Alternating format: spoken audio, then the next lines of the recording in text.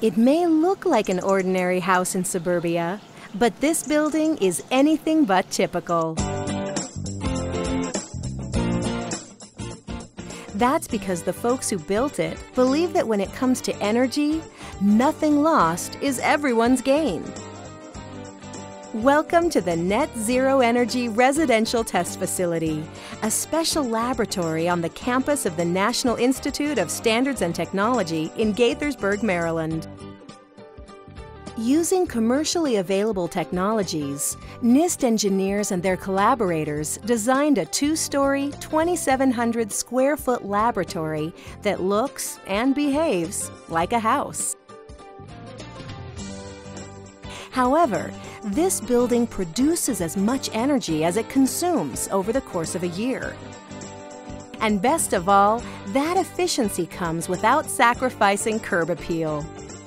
The goal of the facility is to demonstrate that over the course of a year, a home similar in size and aesthetics with all the features a family and surrounding communities would want can achieve net zero.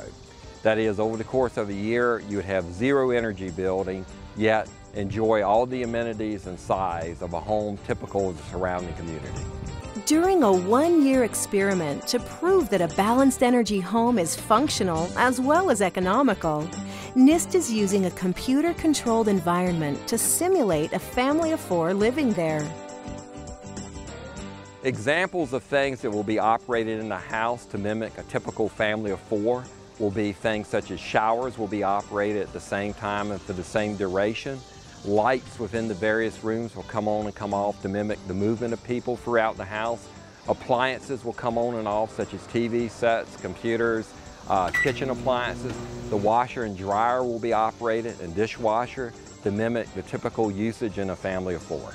What these virtual residents are putting to the test are a host of state-of-the-art energy-saving and energy-producing strategies.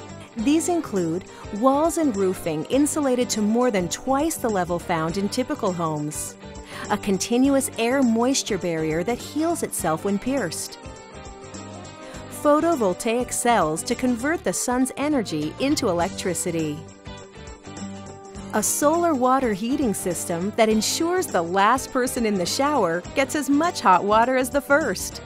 And geothermal heating and cooling that uses the relatively constant temperature of the ground to keep things pleasant.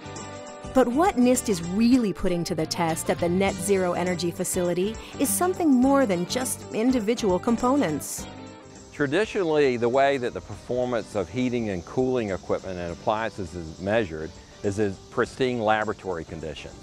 This facility here, being a true house, gives us the ability to measure and develop the metrics to measure the performance of heating and cooling and appliances in a real world environment.